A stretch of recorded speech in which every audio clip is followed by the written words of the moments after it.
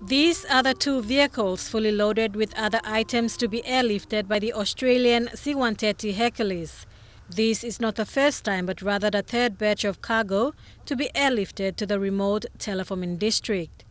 At the cost of over 300,000 kina, the two vehicles will be given to Telefomin Police and District Treasury.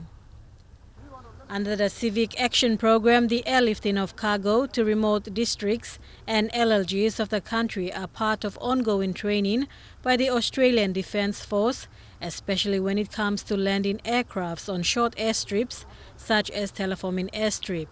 The final loading of the cargo will be conducted this Sunday on board the Australian Defence Force C-130 Hercules. Bridget Komatap, National EMTV News.